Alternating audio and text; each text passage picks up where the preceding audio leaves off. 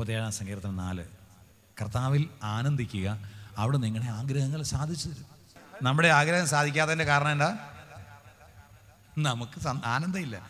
നമ്മൾ നമ്മുടെ ജീവിതത്തിലെ കഷ്ടത നിറഞ്ഞ സാഹചര്യങ്ങളിലേക്കും സങ്കടങ്ങളിലേക്കും വേദനകളിലേക്കും നോക്കി ആകെപ്പാടെ എമാവൂസിലേക്ക് പോയ ശിഷ്യന്മാരുടെ മുഖം പോലെയാണ് നമ്മുടെ മുഖം. എന്തായിരുന്നു അവരുടെ മുഖം? മ്ലാനവദനരായി. അതുകൊണ്ടാണ് ഞാൻ പറഞ്ഞത് നിങ്ങൾ അടുത്ത് നിൽക്കുന്നവർക്ക് ഒന്ന് ചിരിച്ച് ഒന്ന് സന്തോഷിച്ച് ഒന്ന് സന്തോഷത്തോടെ ഒന്ന് പറഞ്ഞ് ഹല്ലേ ലുയ്യാ ജീവിതത്തിൽ ഒത്തിരി നീറുന്ന പ്രശ്നങ്ങളൊക്കെ ഉണ്ടാവും സങ്കടങ്ങളുണ്ടാവും. എങ്കിലും കർത്താവിൽ ഞാൻ ആനന്ദിക്കും. കർത്താവിൽ ആനന്ദിക്കുക അവിടെ നിന്റെ ആഗ്രഹം. ബാക്കി നിന്റെ ജീവിതത്തിലേക്ക് നോക്കുമ്പോൾ ആനന്ദിക്കാൻ പറ്റിയ കാര്യങ്ങളൊന്നും കാണിയല്ല. പക്ഷേ ഒരു കാര്യത്തിൽ ആനന്ദിക്കാം. ഭയപ്പെടേണ്ട. ഞാൻ കൂടെയുണ്ട്. ശക്തനായ കർത്താവ് വിജയം നൽകുന്ന യോദ്ധാവ് നിങ്ങളുടെ കൂടെയുണ്ട്. പിന്നെ നമ്മൾ എന്തിനാ പേടിക്കുന്നേ? ദുഃഖത്തിന്റെ താഴ്വരയിൽ കുഞ്ഞേ നീ ഏകനല്ല. നിനക്കായി ഗസമനിൽ പ്രാർത്ഥിച്ചവൻ കൂടെയുണ്ട്. ശരിക്കും പറഞ്ഞാൽ ഈ പരിശുദ്ധ അമ്മയെ സംബന്ധിച്ചിടത്തോളം പരിശുദ്ധ അമ്മയുടെ ജീവിതത്തിൽ ആനന്ദിക്കാൻ പറ്റുന്ന ഏത് സാഹചര്യം ഉള്ളതെന്ന് ഞാനിങ്ങനെ നോക്കിയിട്ട് ഒരു രക്ഷയില്ല. പരിശുദ്ധ അമ്മയെ സംബന്ധിച്ചിടത്തോളം ഗർഭവതി ആയത് തന്നെ അസ്വാഭാവികമായിട്ടാണ്. പരിശുദ്ധാത്മാവ് നിന്റെ മേൽ വരും. അത്യുന്നതന്റെ ശക്തി നിന്നിൽ ആവസിക്കും. ആകയാൽ ജനിക്കാൻ പോകുന്നവൻ പരിശുദ്ധൻ ദൈവപുത്രൻ എന്ന് വിളിക്കപ്പെടും. ഇതാണ് ദൈവദൂതൻ കൊടുത്ത ദൂത്. ഇത് കർത്താവിന്റെ ദാസി നിന്റെ വാക്കിനെ നിറവേറിക്കൂട്ടെ എന്ന് പറഞ്ഞ് അമ്മയെ അത് സ്വീകരിക്കുകയും ചെയ്തു. വലിയൊരു അപകടമാണ് അവിടെ. ടെൻഷൻ അങ്ങേയറ്റമാണ്. ജോസഫ് പോലും ടെൻഷൻ അടിച്ചിരിക്കുക എന്ത് ചെയ്യണം? അവൻ നീതിമാനാകയാലും അവളെ അപമാനിതയാക്കാൻ ഇഷ്ടപ്പെടായികയാലും അവനൊരു കോംപ്രമൈസ് തീരുമാനമെടുത്തു ഇതാണ് ഇവിടെ രഹസ്യത്തിൽ ഉപേക്ഷിച്ചേക്കാം ശരിയാക്കും നിയമപ്രകാരം ചെയ്യേണ്ടത് എന്താണ്? കല്ലെറിഞ്ഞ് കൊല്ലണം. പക്ഷെ ജോസഫ് നീതിമാനാകയാൽ ഒരു തീരുമാനം ചുരുക്കിയെടുത്തു. അപ്പോൾ കർത്താവിന്റെ ദൂതൻ ജോസഫിന് പ്രത്യക്ഷപ്പെട്ട് പറഞ്ഞു മറിയത്തെ ഭാര്യയായി സ്വീകരിക്കാൻ നീ ശങ്കിക്കേണ്ട. അവൾ ഗർഭം ധരിച്ചിരിക്കുന്നത് പരിശുദ്ധാത്മാവിനാലാണ്. അവൾ ഒരു പുത്രനെ പ്രസവിക്കും. നീ അവന് യേശു എന്ന് പേരിടണം. ഈ കാര്യങ്ങളൊക്കെ പറഞ്ഞു. ജോസഫ് ഇത് സ്വീകരിച്ചില്ലായിരുന്നെങ്കിലോ? ജോസഫിന് സ്വീകരിക്കാനുള്ള മനസ്സില്ലായിരുന്നെങ്കിലോ? മറിയത്തിന്റെ അവസ്ഥ എന്താവുമായിരുന്നു? ഇനി നിറവയറുമായി ബേദലഹീമിലൂടെ ഭർത്താവുമൊത്ത് പോകുന്നൊരവസ്ഥ. ഇന്നൊക്കെ ഗർ പ്രഗ്നന്റാണെന്ന് അറിയുന്ന അന്ന് മുതൽ ബെഡ് റെസ്റ്റ് എടുത്താൽ മാത്രമേ കുഞ്ഞിനെ അപകടമില്ലാതെ പ്രസവിക്കാൻ പറ്റൂ എന്ന അവസ്ഥയിലുള്ള സാഹചര്യമാണ് ഇന്ന് ലോകത്തിൽ നാലും അഞ്ചും കുഞ്ഞുങ്ങൾ നഷ്ടപ്പെട്ടു പോയ കഴിഞ്ഞ ദിവസം ഞാൻ എന്നോട് വഴിയിൽ വെച്ച് ഞാൻ ബൈ ചാൻസിൽ കണ്ട ഒരു കുടുംബമാണ്. പന്ത്രണ്ട് വർഷമായി മക്കളില്ല. പക്ഷേ അവരുടെ നാല് കുഞ്ഞുങ്ങൾ അബോഷനായി പോയി. അപ്പോൾ കഴിഞ്ഞ ദിവസവും വീണ്ടും പ്രഗ്നൻസി പോസിറ്റീവ് ആണെന്ന് കാണിച്ചു പക്ഷേ കുഞ്ഞ് നിലനിന്നില്ല. നിലനിൽ അപ്പോൾ അവരുടെ സങ്കടമാണ്. അപ്പോൾ ഈ നിറവയറോടുകൂടി ഒരു സ്ഥലം പോലും ഒന്ന് തലചായ്ക്കാൻ ഇടമില്ലാതെ അലഞ്ഞു നടന്ന ഒരമ്മ ബദലഹേമിലെ കാലിക്കൂട്ടിൽ ഏറ്റവും ദരിദ്രമായ പശ്ചാത്തലത്തിൽ ഒരു കുഞ്ഞിനെ പൊതിയാൻ തുണി പോലും ഇല്ലാതെ പിള്ളക്കച്ചകൾ കൊണ്ട് പൊതിഞ്ഞു കിടത്തി അവിടെ നിന്നോ ഹെറോദേസിന്റെ ഭീഷണിയെ തുടർന്ന് ആ കുഞ്ഞിനെയായിട്ട് പലായനം ചെയ്യുന്നു തിരിച്ചു വരുന്നു അർക്കലാവസിനെ പേടിച്ച് നസ്രത്തിൽ പോയി താമസിക്കുന്നു. വളർന്നു വരുന്ന സമയത്ത് ആളുകൾ ആരെങ്കിലും ഈ മകനെക്കുറിച്ചൊരു നല്ല കമന്റ് പറയുന്നുണ്ടോ? എല്ലാവരും സുവിശേഷങ്ങൾ എഴുതി വെച്ചിരിക്കുന്നത് എന്താ? അവന് പിശാജ് ബാധയുണ്ട്. ബേൽസബുലിനെ കൊണ്ടാണ് പിശാജിനെ പുറത്താക്കുന്നത്. അവന് ഭ്രാന്താണ് എന്നൊക്കെ പറയുന്ന ഇത് കേട്ടാണ് അമ്മ. അങ്ങനെ ഇരിക്കുമ്പോഴാണ് ഇത് സത്യമാണോ എന്ന് അറിയാനായിരിക്കും ഇടയ്ക്ക് അമ്മയും സഹോദരന്മാരും ഒക്കെ കൂടെ ഈശോയെ കാണാൻ വരുന്നത്. അതിന്റെ കൾമിനേഷൻ കുരിശിലേക്കുള്ള യാത്ര കവിഞ്ഞൊഴുകുന്ന നാല് കണ്ണുകൾ വിങ്ങിപ്പൊട്ടുന്ന രണ്ട് ഹൃദയങ്ങൾ. ആ കുരിശിലെ യാത്ര അവസാനിച്ച് കുരിശിൽ നിറക്കി മാതാവിന്റെ മടിയിൽ കിടത്തുന്നു. ദുഃഖസമുദ്രത്തിൽ മുഴുകിയ ദിവ്യരക്ഷിതാവേ സഹനത്തിന്റെ ഏകാന്ത നിമിഷങ്ങളിൽ അങ്ങേ മാതാവിന്റെ മാതൃക ഞങ്ങളെ ആശ്വസിപ്പിക്കട്ടെ. ഈ മേഖലകളിലെല്ലാം കടന്നു പോകുമ്പോഴും പരിശുദ്ധ അമ്മയ്ക്ക് ഒരു കാര്യം മനസ്സിൽ ഉറപ്പായിരുന്നു. എന്റെ ചിത്തം എന്റെ രക്ഷകനായ ദൈവത്തിൽ ആനന്ദിക്കുന്നു. ഈ ആനന്ദം ഉണ്ടായത് എവിടെയാണെന്നറിയാവോ? പുറമേ നിന്നല്ല ഉള്ളിൽ നിന്നാണ്. ആലേലുയ്യ ആ ഉള്ളിൽ ഉള്ളവനാണ് പരിശുദ്ധ അമ്മയെ സക്രാരിയാക്കി മാറ്റിയത്. ഇന്നത്തെ നമ്മുടെ വിഷയം പരിശുദ്ധ അമ്മ ആദ്യത്തെ സക്രാരി എന്നാണ്.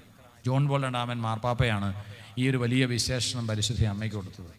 സഭയും വിശുദ്ധ കുർബാനയും എന്നുള്ള ചാക്രിക ലേഖനത്തിൽ ദിവ്യകാരുണ്യത്തിന്റെ സ്ത്രീ എന്നാണ് പരിശുദ്ധ അമ്മയെ ജോൺ ബോൾ രണ്ടാമൻ മാർപ്പാപ്പ വിശേഷിപ്പിക്കുന്നത്. അതിന്റെ അവസാനത്തെ ഒരു ചാപ്റ്റർ മുഴുവൻ അമ്മയെക്കുറിച്ച് പ്രതിപാദിക്കാനാണ്. വിശുദ്ധ കുർബാനയെക്കുറിച്ച് പറയുമ്പോൾ ജോൺ ബോൾ രണ്ടാമൻ മാർപ്പാപ്പ പറയുന്നത് പരിശുദ്ധ അമ്മയെക്കുറിച്ച് പറയാതെ വിശുദ്ധ കുർബാനയെക്കുറിച്ച് എന്താ പറയാനാ? കാരണം വിശുദ്ധ കുർബാനയായ ദൈവത്തെ ഹൃദയത്തിൽ ആദ്യമായി സ്വീകരിച്ച് ആ ഹൃദയം ഒരു ദിവ്യകാരുണ്യം കുടികൊള്ളുന്ന സക്രാരിയാക്കി മാറ്റിയത് പരിശുദ്ധ അമ്മയാണ്.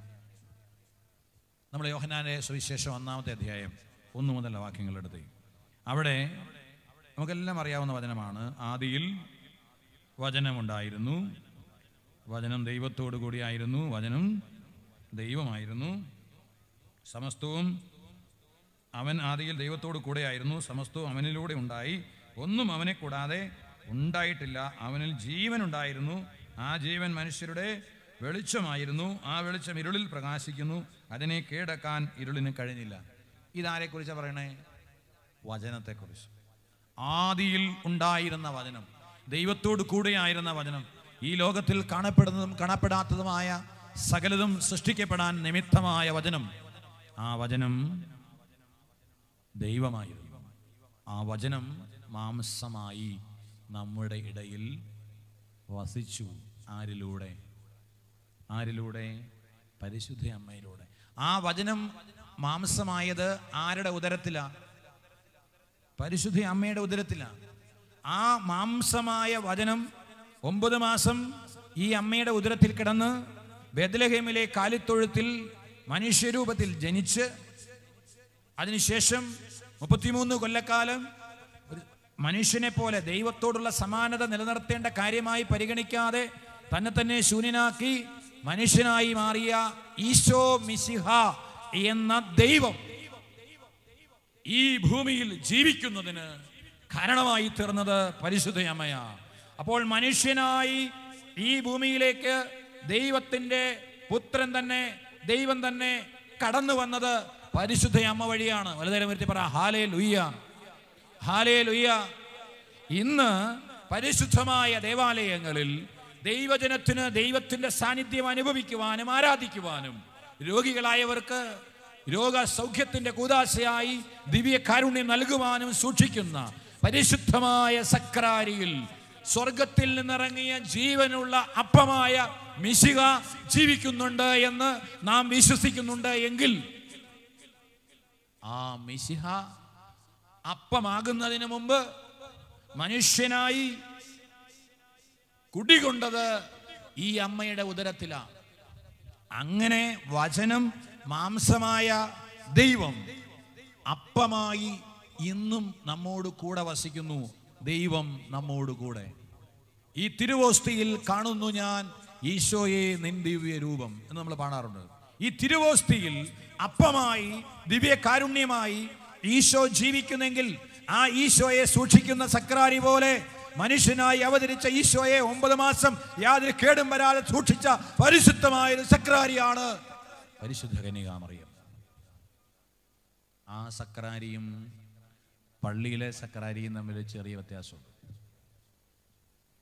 പള്ളിയിലെ സക്രാരിയേക്കാൾ പരിശുദ്ധ അമ്മയാകുന്ന സക്രാരിയോട് പൊരുത്തപ്പെടുന്നത് ഞാനും നിങ്ങളുമാണ്. അതിന്റെ കാരണം ഞാൻ പറയാം. വിശുദ്ധ ലൂക്കാരജ സുവിശേഷത്തിൽ ഒന്നാമത്തെ അധ്യായത്തിൽ മുപ്പത്തി ഒമ്പത് മുതലുള്ള തിരുവചനങ്ങളിൽ അതിന് തൊട്ടു മുമ്പ് ഗബ്രിയേൽ ദൂതൻ പരിശുദ്ധ അമ്മയെ മംഗലവാർത്ത ദൈവവചനം മനുഷ്യനായി അവതരിക്കാൻ പോകുന്നു എന്ന വാർത്ത അറിയിച്ചു. ആ വാർത്തക്കിടയിൽ ഒരടയാളം കാണിച്ചു കൊടുക്കുന്നുണ്ട്. ഇതെങ്ങനെ സംഭവിക്കുമെന്ന് ചോദിച്ചപ്പോൾ പരിശുദ്ധാത്മാവ് വരും അത്യുന്നതന്റെ ശക്തി ആവശിക്കും. ആകയാൽ ജനിക്കാൻ പോകുന്നവൻ പരിശുദ്ധൻ ദൈവപുത്രൻ എന്ന് വിളിക്കപ്പെടും. എന്നിട്ടൊരു അടയാളം. എന്തായിരുന്നു അടയാളം? നിന്റെ ചാർച്ചക്കാരി.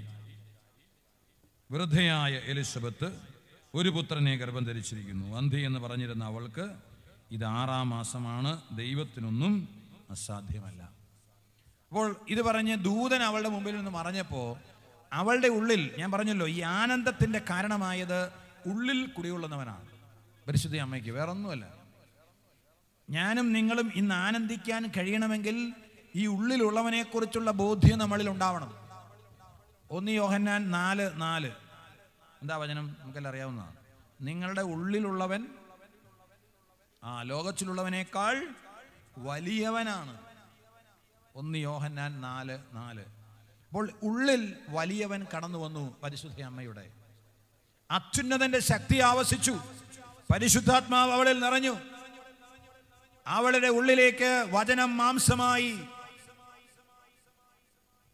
അപ്പോൾ അവൾ എന്താ ചെയ്തത്?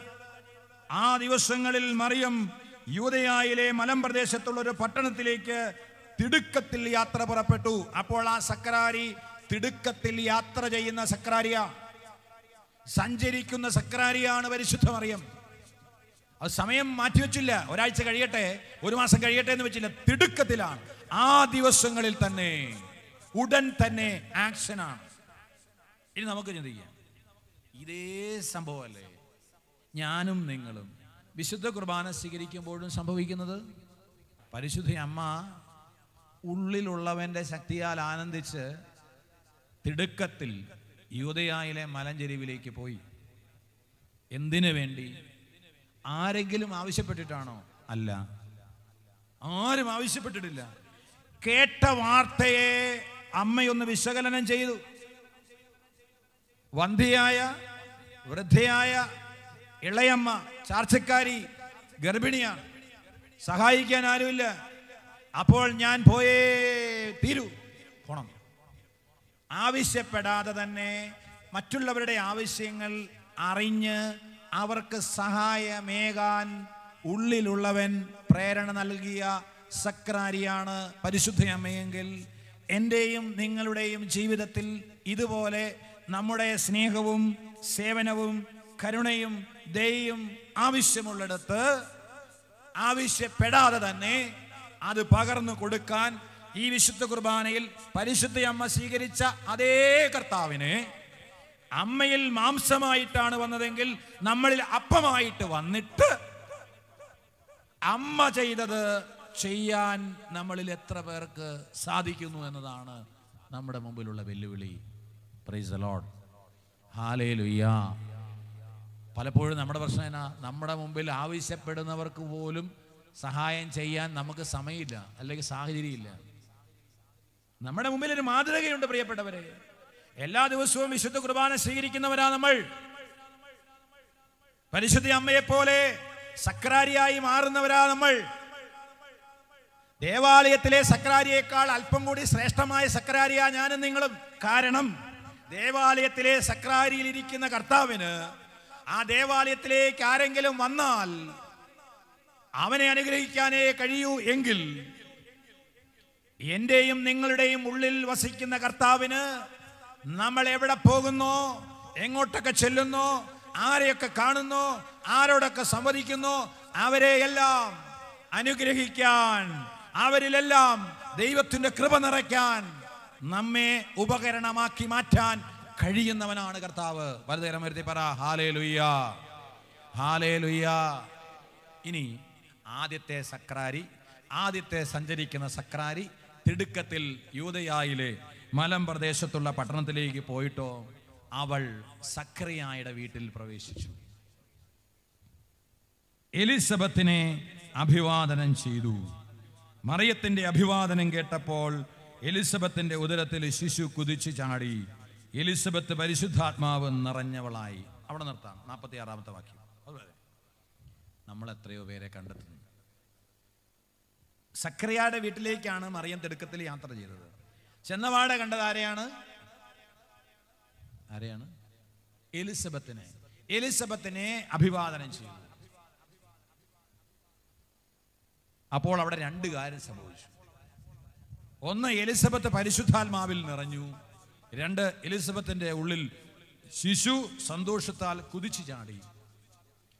മറിയത്തിന്റെ ഉള്ളിൽ കടന്ന ഉള്ളിൽ ജീവിക്കുന്ന ദൈവപുത്രനായ ഈശോ മിശിഹായുടെ സാന്നിധ്യത്താലും ശക്തിയാലും മറിയം ഒരു വ്യക്തിയെ അഭിസംബോധന ചെയ്തപ്പോൾ ആ വ്യക്തിയിലേക്ക് മറിയത്തിൽ നിന്ന് പരിശുദ്ധാത്മാവിന്റെ ശക്തി പ്രവഹിച്ചു. അവൾ പരിശുദ്ധാത്മാവിൽ നിറഞ്ഞു. അവളുടെ ഉള്ളിലെ ശിശു സന്തോഷത്താൽ കുതിച്ചു ചാടി. ഇനി നമുക്ക് നമ്മളിലേക്ക് വരാം. ഞാനും നിങ്ങളും ഇതേപോലെ കർത്താവിനെ ഉള്ളിൽ സ്വീകരിച്ച് നമ്മൾ ജോലി സ്ഥലത്തേക്ക് പോകുമ്പോൾ നമ്മുടെ അയൽവക്കത്തെ വീടുകളിലേക്ക് പോകുമ്പോൾ നമ്മുടെ ബന്ധു വീടുകളിലേക്ക് പോകുമ്പോൾ അല്ലെങ്കിൽ നമ്മുടെ ഏതെങ്കിലും ഒരു ശുശ്രൂഷയ്ക്കായിട്ട് പോകുമ്പോൾ നമ്മുടെ ഉള്ളിൽ വസിക്കുന്ന ജീവിക്കുന്ന ദൈവത്തിന്റെ ശക്തി നമ്മുടെ വാക്കുകളിലൂടെ നമ്മുടെ നോട്ടത്തിലൂടെ നമ്മുടെ ഒരു പുഞ്ചിരിയിലൂടെ നമ്മുടെ സാന്ത്വനത്തിലൂടെ മറ്റുള്ളവരിലേക്ക് കടന്നു ചെല്ലുമ്പോൾ നമ്മളറിയാതെ നമ്മുടെ സാമീപ്യവും നമ്മുടെ സാന്നിധ്യവും അനുഭവിക്കുന്ന വ്യക്തികൾ പരിശുദ്ധാത്മാവിനാൽ നിറയും നിറയണം. ഹാലേ ലുയ്യ ഹാലേ ഇതിനു വേണ്ടി പ്രാർത്ഥിക്കണം. ഇതാ നമ്മൾ പ്രാർത്ഥിക്കേണ്ടത്. വേറൊന്നും വേണ്ട നമ്മളൊന്നും ചെയ്യേണ്ട. നമ്മുടെ ഉള്ളിലേക്ക് ദൈവം വിശുദ്ധ കുർബാനയിലൂടെ വരുന്നുണ്ട്. ആ വരുന്ന ദൈവത്തെ പരിശുദ്ധ അമ്മ ഉപയോഗിച്ച പോലെ ഒന്ന് ഉപയോഗിച്ചാൽ മതി പ്രിയപ്പെട്ടവരെ. അതിന് നമ്മുടെ ഉള്ളിൽ ബോധ്യമുണ്ടാവണം. നമ്മുടെ ഉള്ളിൽ ബോധ്യമില്ലാതെ ഈ പരിശുദ്ധാത്മാവിന് പ്രവർത്തിക്കാനാവില്ല. മറിയത്തിന് ബോധ്യമുണ്ടായിരുന്നു. അവളുടെ ഉള്ളിൽ ദൈവത്തിന്റെ പുത്രൻ വസിക്കുന്നു. അതുകൊണ്ടാണ് അവൾ അഭിവാദനം ചെയ്തപ്പോൾ അവളിൽ വസിക്കുന്ന ദൈവപുത്രന്റെ ശക്തിയാൽ അവൾ പരിശുദ്ധാത്മാവിനാൽ നിറഞ്ഞത്. നമുക്കറിയാം. പഴയ നിയമത്തിൽ പരിശുദ്ധാത്മാവിന്റെ നിറവ് പ്രത്യേക വ്യക്തികൾക്ക് പ്രത്യേക ദൗത്യത്തിന് വേണ്ടി മാത്രം നൽകപ്പെടുന്നതായിരുന്നു. എല്ലാവരുടെയും മേൽ ആത്മാവിനെ വർഷിക്കപ്പെട്ടത് പന്തകുസ്തായിലാണ് ആർക്കെങ്കിലും ദാഹിക്കുന്നെങ്കിൽ അവൻ എന്റെ അടുക്കൽ വന്ന് കുടിക്കട്ടെ. എന്നിൽ വിശ്വസിക്കുന്നവന്റെ ഹൃദയത്തിൽ നിന്ന് വിശുദ്ധ ലിഖിതം പ്രസ്താവിക്കുന്നത് പോലെ ജീവജലത്തിന്റെ അരുവികൾ ഒഴുകും. അവനിത് പറഞ്ഞത് അവനിൽ വിശ്വസിക്കുന്നവർ സ്വീകരിക്കാനിരുന്ന ആത്മാവിനെ പറ്റിയാണ്. അതുവരെയും ആത്മാവ് നൽകപ്പെട്ടിട്ടില്ലായിരുന്നു. എന്നാൽ അതുവരെയും യേശു മഹത്വീകരിക്കപ്പെട്ടിരുന്നില്ല. യോഹനാന്റെ സുവിശേഷം ഏഴാം അധ്യായം മുപ്പത്തിനാല് മുതലുള്ള തിരുവചനങ്ങളാണ് ഇത് മുമ്പേ നിറവേറി. യേശു മഹത്വീകരിക്കപ്പെടുന്നതിന് മുമ്പേ വിശ്വസിച്ചവളുടെ ഹൃദയത്തിൽ നിന്ന് ജീവജലത്തിന്റെ അരുവി ഒഴുകി. ആരാ വിശ്വസിച്ചവൾ?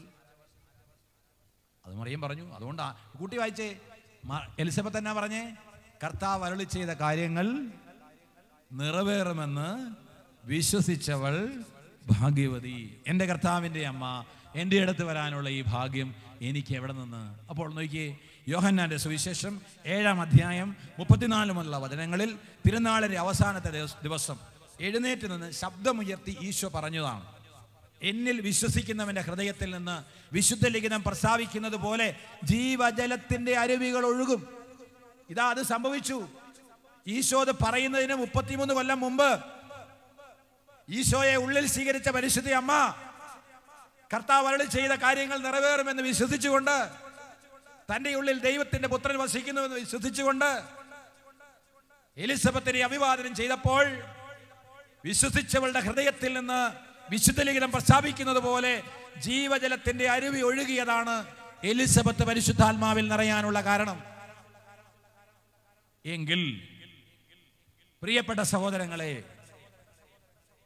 അന്ന് മറിയത്തിൽ നിറഞ്ഞ അതേ ഈശോ നമ്മളിൽ നിറയുമ്പോ മറിയം വിശ്വസിച്ച പോലെ നമ്മൾ വിശ്വസിച്ചാൽ വിശ്വസിക്കുന്നവരുടെ ഹൃദയത്തിൽ നിന്ന് വിശുദ്ധ ലിഖിതം പ്രസ്താവിക്കുന്നത് പോലെ ജീവജലത്തിന്റെ അരുവികൾ ഒഴുകുമെന്ന് പറഞ്ഞ വചനത്തിന്റെ വാഗ്ദാനം എന്നിലൂടെയും നിങ്ങളിലൂടെയും നിറവേറാതിരിക്കുമോ? നിറവേറുകയില്ലേ? നിറവേറും. ഒന്നേ ചെയ്യണ്ടു. എന്താ? നമ്മൾ വിശ്വസിക്കണം. പരിശുദ്ധ അമ്മയെ സക്രാരിയായി നാം ധ്യാനിക്കുമ്പോൾ അമ്മയെപ്പോലെ തന്നെയുള്ള ഒരു സക്രാരിയാണ് ഞാനും. ഞാനെന്ന സക്രാരി എന്താകണമെന്ന് എനിക്ക് മുമ്പേ മാതൃകയിലൂടെ കാണിച്ചു തന്നൊരു സക്രാരിയുണ്ട്.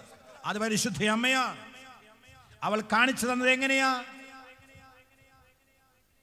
അവളുടെ ഉള്ളിൽ ദൈവത്തെ സ്വീകരിച്ചപ്പോൾ മടി വിചാരിക്കാതെ സമയം നീട്ടിവെക്കാതെ ആ ദിവസങ്ങളിൽ തന്നെ യൂതയായിലെ മലം പ്രദേശത്തുള്ള ഒരു പട്ടണത്തിലേക്ക് തിടുക്കത്തിൽ യാത്ര പുറപ്പെട്ട് സക്കറിയായുടെ വീട്ടിൽ പ്രവേശിച്ച് എലിസബത്തിനെ അഭിവാദനം ചെയ്തു. അപ്പോൾ ഈ വിശുദ്ധ ലിഖിതം പ്രസ്താവിച്ചിട്ടുള്ള വചനം അവിടെ നിറവേറി. മറിയത്തിന്റെ ഹൃദയത്തിൽ നിന്ന് ജീവജലത്തിന്റെ അരുവി ഒഴുകി എലിസബത്തിൽ നിറഞ്ഞു. ആ കുടുംബം മുഴുവൻ ജീവജലത്തിന്റെ അരുവിയാൽ നിറയപ്പെട്ടു. എങ്കിൽ പ്രിയപ്പെട്ട സഹോദരങ്ങളെ നമുക്കൊന്ന് ആത്മാർത്ഥമായി ചങ്കുരുകി പ്രാർത്ഥിക്കാം. ഈ അമ്മയോട് അമ്മേ അന്ന് അമ്മ എങ്ങനെ ഈ ഭൂമിയിൽ ജീവിച്ചിരുന്നപ്പോൾ കടന്നു ചെന്നിടത്തൊക്കെ ജീവജലത്തിന്റെ അരുവി ഒഴുക്കിയോ? അതുപോലെ എനിക്കും ഞാൻ പ്രഭാതത്തിൽ അല്ലെങ്കിൽ വൈകുന്നേരം എപ്പോഴാണോ സമയം കിട്ടുമ്പോൾ അമ്മയിൽ നിറഞ്ഞ അതേ ഈശോയെ തിരുവോസ്തിരൂപനായി സ്വീകരിച്ചു കഴിയുമ്പോൾ അമ്മയെപ്പോലെ എന്റെ ഹൃദയത്തിൽ നിന്ന് ജീവജലത്തിന്റെ അരുവിയായ പരിശുദ്ധാത്മാവ് ഞാൻ കണ്ടുമുട്ടുന്നവരിലേക്ക് ഒഴുകാൻ. രോഗിയെ കണ്ടുമുട്ടുമ്പോൾ അവനിലേക്ക് സൗഖ്യമായി എന്റെ ഉള്ളിൽ നിന്ന് ജീവജലത്തിന്റെ പരിശുദ്ധാത്മാവ് പ്രവഹിക്കാൻ. ദുഃഖിതനെ കണ്ടുമുട്ടുമ്പോൾ അവനിലേക്ക് ആശ്വാസമായി കടന്നു വരാൻ. എന്നെയും അമ്മയെപ്പോലൊരു ഉപകരണമാക്കണേ എന്ന് പ്രാർത്ഥിക്കുന്നു. ഈ അമ്മ ഇതേപോലെ ഈ കാരുണ്യത്തിന്റെ ഒരു മുഖമായി മാറുന്നത് ഈശോയുടെ പരസ്യ ജീവിതത്തിന് മുമ്പ് നമ്മൾ കാണുന്നുണ്ട്. കാനായിലെ കല്യാണ വീട്ടിലാണ്. അവിടെ ഈശോയും ഈശോയുടെ അമ്മ അവിടെ ഉണ്ടായിരുന്നു എന്നാണ് യോഹന്നാൻ പറയുന്നത്. ഈശോയും ശിഷ്യന്മാരും വിരുന്നിന് ക്ഷണിക്കപ്പെട്ടവരായിട്ടുണ്ട്. അവിടെ വീഞ്ഞു തീർന്നു പോയി ആരും അറിഞ്ഞില്ല പക്ഷെ അമ്മ അറിഞ്ഞു. അപ്പോൾ അമ്മ മകനെ വിവരം അറിയിച്ചു മകനെ അവർക്ക് വീഞ്ഞില്ല. സ്ത്രീയെ എനിക്ക് നിനക്ക് എന്ത്? എന്റെ സമയമായിട്ടില്ല. വെയിറ്റ് അമ്മ പരിചാരകരോട് പറഞ്ഞു അവൻ പറയുന്നത് ചെയ്യുവിൻ. പറയുന്നത് പോലെയല്ല പറയുന്നത് പറഞ്ഞു ഈ അമ്മ ഇന്ന് നമ്മളോടും ഓർമ്മപ്പെടുത്തുന്നത് ഒറ്റ കാര്യമുള്ളൂ. ജീവജലത്തിന്റെ അരുവി ഒഴുകണോ? പരിചാരകനാണ് നമ്മളെല്ലാം. അവൻ എന്നാ പറഞ്ഞേ? കൽഭരണികളിൽ വെള്ളം നിറയ്ക്കുക. അവർ അവയെല്ലാം വക്കോളം നിറച്ചു. വക്കോളം നിറച്ചപ്പോൾ പകർന്ന് കലവറക്കാരന് കൊടുക്കാൻ പറഞ്ഞു. ആ സമയത്തിനുള്ളിൽ വെള്ളം വീഞ്ഞായി രൂപാന്തരപ്പെട്ടു. ഇത് അടയാളമാണെന്ന് യോഹനാൻ പറയുന്നു. എന്തിന്റെ അടയാളം? ഈ അമ്മയുണ്ടായിരുന്നിടത്ത് ഉണ്ടായ അടയാളമാണ്.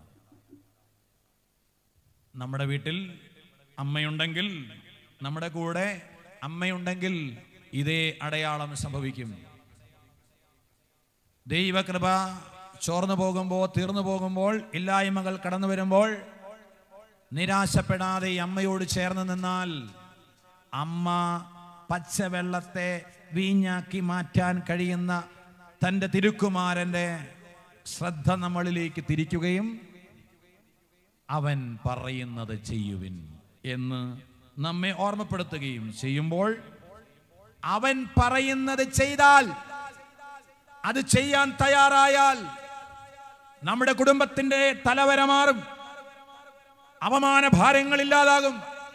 കാരണം വെള്ളത്തിന്റെ മേൽ തന്റെ ശക്തി അയക്കുമ്പോൾ അതിനെ വീഞ്ഞാക്കി മാറ്റാൻ കഴിയുന്നവൻ നമ്മുടെ ജീവിതത്തിലും പ്രവർത്തിക്കും. ശൂന്യത നിറഞ്ഞ സാഹചര്യങ്ങളിലേക്ക് സമൃദ്ധി കൊണ്ടുവരാൻ. എന്റെ ദൈവം തന്നെ മഹത്വത്തിന് സമ്പന്നതയിൽ നിന്ന് കർത്താവായി യേശു ക്രിസ്തു വഴി ആവശ്യമുള്ളതെല്ലാം തരും എന്ന് വചനം പറയുന്നെങ്കിൽ ആ യേശു ക്രിസ്തു വഴിയാണ് കൃപയൊഴുകുന്നതെങ്കിൽ ആ യേശു ക്രിസ്തുവിലുള്ള വിശ്വാസം വഴി കൃപയാൽ നാം രക്ഷിക്കപ്പെട്ടെങ്കിൽ ആ യേശു ക്രിസ്തു പറഞ്ഞത് ചെയ്യാൻ കഴിയുമ്പോൾ നമ്മളിലും കൃപയൊഴുകും. കാരണം മറിയം തരുന്ന മാതൃക അവൻ പറഞ്ഞത് വിശ്വസിച്ചു അതുപോലെ പ്രവർത്തിച്ചു. അതുകൊണ്ടാണ് ആരാണ് എന്റെ അമ്മ? ആരാണ് എന്റെ സഹോദരർ? ദൈവവചനം സ്വീകരിച്ച് അതനുസരിച്ച് ജീവിക്കുന്നവരാണ് എന്റെ അമ്മയും എന്റെ സഹോദരനും സഹോദരിയും. അതുകൊണ്ട് പ്രിയപ്പെട്ടവരെ ഇന്ന് നമ്മുടെ ജീവിതങ്ങളിൽ നമുക്കുള്ള കുറവെന്തെന്ന് ചോദിച്ചാൽ ആദ്യമേ ഞാൻ പറഞ്ഞ ഒന്നാമത്തെ കാര്യം പരിശുദ്ധി അമ്മയെ പോലെ ഉള്ളിൽ ഉള്ളവൻ വലിയവനാണെന്നുള്ള ബോധ്യമില്ല. അവന്റെ സാന്നിധ്യത്താൽ എന്നിൽ നിന്ന് ജീവജലത്തിന്റെ അരുവി ഒഴുക്കണം എന്നുള്ളൊരു നിശ്ചയദാർഢ്യമില്ല. രണ്ട് അവൻ പറയുന്നതല്ല നമ്മൾ ചെയ്യുന്നത്. നമ്മൾ ചുറ്റുപാടുമുള്ള എല്ലാവരും ചെയ്യുന്ന പോലെ ചെയ്യണത്. അവരെങ്ങനെ ചെയ്യുന്നത് അവരെങ്ങനെ ചെയ്യുന്നത് ഇവരെങ്ങനെ ചെയ്ത് ഇവരെങ്ങനെ എന്നാൽ നമുക്കും അങ്ങനെ തമ്പുരാൻ പറയുന്നത് കേൾക്കാൻ അവന്റെ വചനത്തോട് ചേർന്നിരുന്ന ആലോചന നടത്താൻ നമുക്ക് കഴിയുന്നുണ്ടോ? ഇല്ല. അതുകൊണ്ട് നമ്മുടെ കുടുംബങ്ങളിൽ അത്ഭുതം സംഭവിക്കുന്നില്ല. ഇത് വിശുദ്ധ കുർബാനയിലേക്കൊരു സൂചനയാണ് ദിവ്യകാരുണ്യത്തിന്റെ സ്ത്രീ എന്ന് പരിശുദ്ധ പിതാവ് ജോൺ ബോൾ രണ്ടാമൻ വിളിക്കുമ്പോൾ ജോൺ ബോൾ രണ്ടാമൻ മാർപ്പാപ്പ ക്രിസ്ത്യാനികളോട് പറയുന്നുണ്ട് നിങ്ങൾ വിശുദ്ധ കുർബാന അർപ്പിക്കുന്ന സമയം മുഴുവൻ നിങ്ങൾക്ക് വേണ്ടി പ്രാർത്ഥിച്ചുകൊണ്ട് ഒരമ്മ നിങ്ങളുടെ പുറകിൽ നിൽപ്പുണ്ട്. നിങ്ങൾ ദേവാലയത്തിൽ നിന്ന് ഇറങ്ങിപ്പോകുമ്പോൾ അവൾ വാതുക്കൽ കാത്തു നിൽക്കുകയാണ്. എന്തിനാണ്? നിങ്ങൾ അവളെയും കൂട്ടിക്കൊണ്ട് പോകണമെന്ന് ആഗ്രഹിച്ചുകൊണ്ട്. കാരണം നിങ്ങളുടെ ഉള്ളിൽ വന്ന ഈശോയെ വളർത്തേണ്ടത് എങ്ങനെയെന്ന് ആ ഈശോയെ കൊണ്ട് പ്രവർത്തിപ്പിക്കേണ്ടത് എങ്ങനെയെന്ന് അറിയാവുന്നവൾ അവൾ മാത്രമാണ്. കാരണം അവളാണ് തന്റെ ഉദരത്തിൽ അവനെ വളർത്തിയതും അവന്റെ രഹസ്യ ജീവിത കാലഘട്ടങ്ങളിൽ അവനെ പരിപാലിച്ചതും എന്തിനേറെ സമയമായിട്ടില്ല എന്ന് വിചാരിച്ചിരുന്ന മകനെ സമയമായടാ നീ പ്രവർത്തിക്കേണ്ട സമയമായി എന്ന് പറഞ്ഞ് ദൈവത്തിന്റെ ഇഷ്ടത്തിൽ അവനെ പരസ്യ ജീവിതത്തിലേക്ക് വളർത്തി കൈവിടിച്ച് വിട്ടതും ഈ അമ്മയാണെങ്കിൽ എന്റെയും നിങ്ങളുടെയും ഉള്ളിൽ വസിക്കുന്ന ദിവ്യകാരുണ്യമായ അതേ മകനെ നമ്മുടെ ജീവിത സാഹചര്യങ്ങളിൽ വളർത്താൻ അവനെ പ്രവർത്തിപ്പിക്കാൻ അവനിലൂടെ ജീവജലത്തിന്റെ അരുവി ഒഴുക്കാൻ അവനിലൂടെ അത്ഭുതങ്ങൾ പ്രവർത്തിപ്പിക്കാൻ നമ്മെ സഹായിക്കുന്ന ഒരമ്മ ആ അമ്മയെ കൂട്ടിക്കൊണ്ടുപോകാൻ നിങ്ങൾ മറക്കല്ലേ എന്നാണ് ജോൺ വോളണ്ടാമൻ പാപ്പ പറയുന്നത്. പ്രൈസ് അവർക്ക് പറഞ്ഞേ ഹാലേ ലുയ്യ ഹാലേ ലുയ്യ അതുകൊണ്ട് ഇന്നു മുതൽ വിശുദ്ധ കുർബാന കഴിഞ്ഞ് നമ്മൾ ഇറങ്ങി പോകുമ്പോൾ ഇതൊന്ന് മനസ്സിൽ കാണണം. ഈ അമ്മയെ കുട്ടിക്കൊണ്ടു പോകണം വിശുദ്ധ കുർബാനയ്ക്ക് വരുമ്പോൾ അമ്മയോട് ചേർന്ന് പ്രാർത്ഥിച്ചിരിക്കണം. കാരണം ഈ ദിവ്യകാരുണ്യത്തിന്റെ മുഴുവൻ രഹസ്യവും തന്റെ ഉള്ളിൽ സംഗ്രഹിച്ച പരിശുദ്ധ അമ്മയോളം ഈശോയുടെ ദിവ്യ സാന്നിധ്യം ഉള്ളിൽ അനുഭവിച്ച മറ്റാരോളെ? അതുകൊണ്ട് അമ്മയോട് ചേർന്നുള്ള ബലിയർപ്പണമാകണം അമ്മയോട് ചേർന്നുള്ള ബലി അനന്തര ജീവിതമാകണം നമ്മുടേത്. അതുകൊണ്ടാണ് എന്റെ അമ്മയെ കൂടാതെ എന്നോടുള്ള ഭക്തിയിൽ നിനക്ക് വളരാനാവില്ല. ഇൻ സേനു ജേസു എന്ന ഒരു പ്രൈവറ്റ് റെവലേഷനാണ്. ഒരു ബെനഡിക്റ്റൈൻ വൈദികന് ദിവ്യകാരന് സന്നിധിയിൽ നിന്ന് ഈശോ പറഞ്ഞു കൊടുത്ത വിശുദ്ധമായ രഹസ്യങ്ങൾ വിവരിക്കുന്നൊരു പുസ്തകമാണ്. മലയാളത്തിലുണ്ട് ദീപിയ ബുക്ക് ഹൗസിലുണ്ട് വായിച്ചു നോക്കിയാൽ അറിയാം. അത് കൂടുതലും വൈദികരോട് സംസാരിക്കുന്നതാണ്. ആരാധനയുടെ മനുഷ്യരായി വൈദികര് മാറണമെന്ന് ഓർമ്മപ്പെടുത്തുന്ന ഒരു പുസ്തകം. അതിനകത്ത് എല്ലാ സന്ദേശങ്ങളും ഞാൻ ആ പുസ്തകം വായിച്ചുകൊണ്ടിരിക്കുന്ന സന്ദേശങ്ങളും പരിശോധിക്കുമ്പോൾ ഈശോ പറയുന്നൊരു കാര്യമുണ്ട്. നിനക്ക് എന്റെ അമ്മയെ കൂടാതെ എന്റെ അടുത്തിരിക്കാൻ പറ്റില്ല. എന്റെ അമ്മയാണ് എന്നെ അത്രയും മനസ്സിലാക്കിയ ഒരു മനുഷ്യ സ്ത്രീ. അതുകൊണ്ട് നീ എന്റെ അമ്മയുടെ കൂട്ടുപിടി കൂട്ടുപിടിക്ക് അമ്മയുടെ വിമല ഹൃദയത്തിൽ സമർപ്പിക്ക്. നിന്റെ ബലഹീനതകളും നിന്റെ കുറവുകളും അമ്മയ്ക്ക് കൊടുക്ക. അമ്മയത് എന്റെ കൈ തന്നോളും. നീ ഒന്നിനെ കുറിച്ചും വേദനിക്കണ്ട ടെൻഷൻ അടിക്കണ്ട. ഇവിടെ പരിശുദ്ധി അമ്മ ഈ ദിവ്യകാരുണ്യത്തിന്റെ ഒരു സ്ത്രീ അല്ലെങ്കിൽ ദിവ്യകാരുണ്യത്തിന്റെ അപ്പസ്തോല എന്നൊക്കെ സഭ വിളിക്കുമ്പോൾ പ്രിയപ്പെട്ടവരെ അപ്പസ്തോലൻ എന്ന വാക്കിനർത്ഥം അയക്കപ്പെട്ടവനെന്നാണ് എന്നെയും നിങ്ങളെയും സഭ വിശുദ്ധ കുർബാന നമ്മൾ കുർബാന കഴിഞ്ഞിട്ട് തന്നെ പോകുവിൻ എങ്ങോട്ട്? ഈ സാക്ഷ്യത്തിന്റെ ജീവിതത്തിനായിട്ട് പോകാനാ സഭ നമ്മളെ ആഹ്വാനം ചെയ്യുന്നേ. വിശുദ്ധ ബലി സമാപിച്ചു. നിങ്ങൾ പോകുവിൻ. വീട്ടിൽ പോകാനല്ല ഉദ്ദേശിക്കുന്നത്. അപ്പോൾ ഈ അപ്പസ്റ്റോലിക് ലൈഫ് അയക്കപ്പെടുന്ന ജീവിതത്തിൽ ഈ ഈശോയെ ഉള്ളിൽ സ്വീകരിച്ച് തിടുക്കത്തിൽ യാത്രയായി ചെന്നടങ്ങളിലെല്ലാം കാരുണ്യത്തിന്റെയും സ്നേഹത്തിന്റെയും അപ്പസ്തോലയായി മാറിയ പരിശുദ്ധ അമ്മയെ പോലെ ദിവ്യ കാരുണ്യം സ്വീകരിക്കുന്ന നമ്മൾ നമ്മുടെ കണ്ണുകൾ നമ്മുടെ കാതുകൾ നമ്മുടെ കരങ്ങൾ എല്ലാം കാരുണ്യത്തിന്റെ ഉപകരണങ്ങളാക്കി മാറ്റേണ്ടതാണ്. അങ്ങനെ കഴിഞ്ഞവരാണ് വിശുദ്ധര്. മദർ തെരേസയൊക്കെ തന്റെ ഉള്ളിൽ വസിക്കുന്ന ഈശോയുടെ മുഖം തന്റെ മുമ്പിൽ കാണുന്ന പാവപ്പെട്ട രോഗികളിൽ കണ്ടതുകൊണ്ടാണ് അവരോട് ഈശോയോടുള്ള അതേ സ്നേഹം പ്രകടമാക്കാൻ കഴിഞ്ഞത്. ഇതാണ് നമ്മുടെ ദൗത്യം. പരിശുദ്ധി അമ്മ എലിസബത്തിന്റെ വീട്ടിൽ ചെയ്തതുപോലെ. പരിശുദ്ധി അമ്മ കാനായിൽ ചെയ്തതുപോലെ നമ്മുടെയും ജീവിതങ്ങൾ മറ്റുള്ളവരുടെ ജീവിതങ്ങൾക്ക് ജീവജലത്തിന്റെ അരുവി ഒഴുകാൻ കാരണമാകണം എന്നാണ് അമ്മ നമ്മെ ഓർമ്മപ്പെടുത്തുന്നത്. അപ്പോൾ ഞാൻ നേരത്തെ പറഞ്ഞു വെള്ളം വീഞ്ഞായി മാറിയ അടയാളം. അത് വിശുദ്ധ കുർബാനയുടെ സൂചനയാണ്. വെള്ളത്തെ വീഞ്ഞാക്കിയവന് വീഞ്ഞിനെ തന്റെ രക്തമാക്കി മാറ്റാൻ കഴിയും എന്ന് നമ്മെ ബോധ്യപ്പെടുത്തുന്ന അടയാളമാണ് കാനായിൽ സംഭവിച്ചത്. കാരണം വെള്ളത്തിന്റെ മേലുള്ള അവന്റെ അധികാരം ആ വെള്ളത്തെ വീഞ്ഞാക്കിയെങ്കിൽ ആ വീഞ്ഞിന്റെ മേൽ അവൻ അധികാരമുണ്ട്. ആ വീഞ്ഞിനെ തന്റെ രക്തമാക്കി മാറ്റാൻ കഴിയും. അതാണ് ഈ പരിശുദ്ധമായ അൾത്താരയിൽ എന്നും സംഭവിച്ചുകൊണ്ടിരിക്കുന്നത്. ഇതിലേക്കാണ് അമ്മ നമ്മളെ നയിക്കുന്നത്. അവൻ പറയുന്നത് കേൾക്കാൻ ചെയ്യാൻ. കാനായിൽ അമ്മ പരിചാരകരെ കൈ ചൂണ്ടി വിട്ടതുപോലെ എങ്ങോട്ടാ വിട്ടത്? വെള്ളം കോരാൻ. വെള്ളം കോരിയിട്ടോ? വെള്ളത്തെ വീഞ്ഞാക്കി മാറ്റി. ആ വീഞ്ഞ് ഈ എൽത്താരയിൽ വെച്ച് ദൈവവചനത്തിന്റെ ശക്തിയാൽ പരിശുദ്ധാത്മാവ് ആവസിക്കുമ്പോ ഈശോയുടെ രക്തമായി മാറുന്നു. ഇതുപോലെ ഒരു ബാലന്റെ കയ്യിലിരുന്ന അഞ്ചപ്പവും രണ്ട് മീനും യേശുവിന്റെ കൈകളിലെത്തിയപ്പോ ആ അപ്പത്തിന്റെ മേൽ അവൻ തന്റെ വചനത്തിന്റെ അധികാരം പ്രയോഗിച്ചു.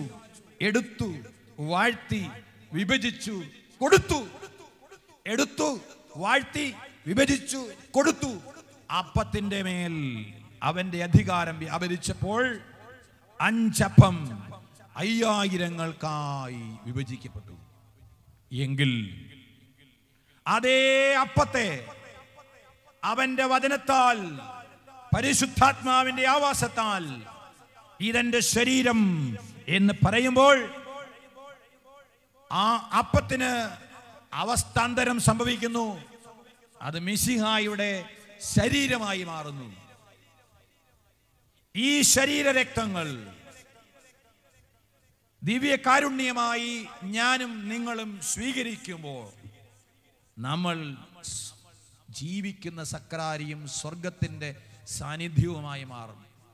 എന്റെ പ്രിയപ്പെട്ട സഹോദരങ്ങളെ എല്ലാ ദിവസവും വിശുദ്ധ കുർബാന സ്വീകരിക്കുന്ന നമ്മളെല്ലാവരും എന്തിനേറെ ക്രിസ്ത്യാനികളിൽ ഒരു പത്ത് ശതമാനമെങ്കിലും ഈ ഒരു കാര്യം ബോധ്യപ്പെട്ട് ജീവിച്ചാൽ ഈ ലോകത്ത് വലിയ അത്ഭുതങ്ങൾ സംഭവിക്കും.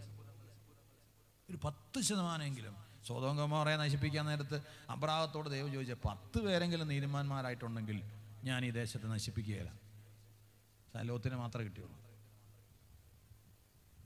അതുകൊണ്ട് ഇതൊരു ചലഞ്ചായിട്ട് നമുക്ക് എടുക്കാം. ആർ യു റെഡി എന്ന് അമ്മ ചോദിക്കുകയാണ്. എന്നെ പോലെ ആകാൻ കഴിയുമോ എന്ന് അമ്മ ചോദിക്കുന്നത് അമ്മയുടെ മാതൃകയനുസരിച്ച് അമ്മ കാണിച്ചു തരുന്ന വഴിയിലൂടെ അമ്മ അന്ന് എങ്ങനെ സക്രാരിയായി? അമ്മ എങ്ങനെ ജീവജലത്തിന്റെ അരുവിയായ പരിശുദ്ധാത്മാവിനെ കടന്നു ചെന്നിടത്തെല്ലാം പകർന്നു കൊടുത്തു? അതുപോലെ പകർന്നു കൊടുക്കാൻ. ഇന്ന് എനിക്കും കഴിയുന്നില്ല നിങ്ങൾക്കും കഴിയുന്നില്ല എന്നൊരു തിരിച്ചറിവുണ്ടെങ്കിൽ എനിക്ക് തിരിച്ചറിവുണ്ട്. ഒരുപക്ഷെ നിങ്ങൾക്ക് കഴിയുന്നവരുണ്ടാകാം. ദൈവത്തിന് നന്ദി പറയാം. അതൊരു കൃപയായിട്ട് നമുക്ക് സ്വീകരിക്കാം. വേറൊന്നും വേണ്ട. ഒറ്റ കാര്യം. അമ്മ എന്ന സക്രാരി എങ്ങനെ സഞ്ചരിച്ചോ അതുപോലെ ഞാനെന്ന സക്രാരി നാളെ മുതൽ അല്ലെങ്കിൽ ഇന്ന് ഈ സായാഹ്ന ശുശ്രൂഷ കഴിഞ്ഞ് പുറത്തിറങ്ങുമ്പോൾ മുതൽ സഞ്ചരിക്കാൻ ഇടയാകണം. അതിന് നമുക്കൊരു യോ ഒരു കരുതലുണ്ടാവണം. പ്രാർത്ഥനയുണ്ടാവണം. ഞാൻ ഇങ്ങോട്ട് വരുന്നതിന് തൊട്ട് മുമ്പ് കുമ്പസാരിച്ചപ്പോൾ എന്റെ ഉള്ളിൽ എനിക്ക് കിട്ടിയൊരു ബോധ്യം ഇത് തന്നെയാണ്. ബഹുമാനപ്പെട്ട അച്ഛനിലൂടെ എല്ലാ ദിവസവും നമ്മൾ ഈശോയെ ഉള്ളിൽ സ്വീകരിച്ച് കഴിയുമ്പോൾ അന്നത്തെ ദിവസത്തെ എല്ലാ കാര്യങ്ങളും ഈശോയുടെ നിയന്ത്രണത്തിലേക്കാണ് കൊടുക്കുക പിന്നെ ഈശോയല്ലേ നമ്മളിലൂടെ സംസാരിക്കുന്നത് ഈശോ അല്ലേ പ്രവർത്തിക്കുന്നത് നമുക്കൊരു തരത്തിലും ഒരു കുഴപ്പം വരാതെ ഈശോ നോക്കിക്കോളും. വില കെട്ടവ പറയാതെ സത്വചനങ്ങൾ പറഞ്ഞാൽ നീ എന്റെ നാവ് പോലെയാകും. ജറമിയ പതിനഞ്ച് പത്തൊമ്പത് വചനം പറയുന്നു. അപ്പോൾ നമുക്കും വില കെട്ടതിനെ മാറ്റിക്കളഞ്ഞ് വിലപിടിപ്പുള്ള ദൈവത്തിന്റെ വചനം പറയാൻ പറ്റും വ്യർത്ഥഭാഷണത്തിൽ നിന്ന് നമ്മുടെ നാവിനെ സൂക്ഷിക്കാൻ. ആസക്തികളാൽ കലുഷിതമായ മനുഷ്യനെ ഉരിഞ്ഞു മാറ്റി പുതിയ മനുഷ്യരാകാൻ. ക്രിസ്തുവിലായിരിക്കുന്നവൻ പുതിയ സൃഷ്ടിയാണ്. അപ്പോൾ നമ്മുടെ മാനുഷിക ബലഹീനതകളിൽ എന്തെങ്കിലുമൊക്കെ പാളിച്ചകൾ സംഭവിക്കുന്നതിനെ പുതുതാക്കാൻ വേണ്ടിയാണ് വിശുദ്ധ കുർബാനയിൽ നമ്മളെ പുതിയ സൃഷ്ടിയാക്കി മാറ്റിക്കൊണ്ടിരിക്കുന്നത്. അതൊന്ന് നമ്മൾ അല്പം കൂടി ഗൗരവത്തോടെ നമുക്കൊന്ന് സ്വീകരിക്കാം.